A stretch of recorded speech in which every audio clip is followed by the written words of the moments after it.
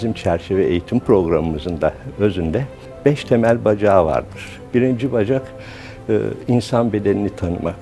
Yani insan biyolojisi, insan e, anatomisi, fizyolojisi, nörolojisi gibi dersler.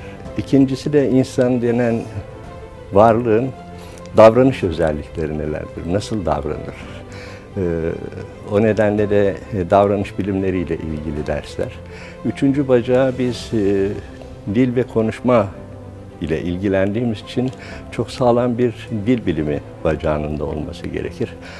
Dördüncü bacağı da e, tartışmasız tabii dil ve konuşma bozukluklarının kuramsal yanlarıyla ilgili dersler ve beşinci bacağı da uygulama.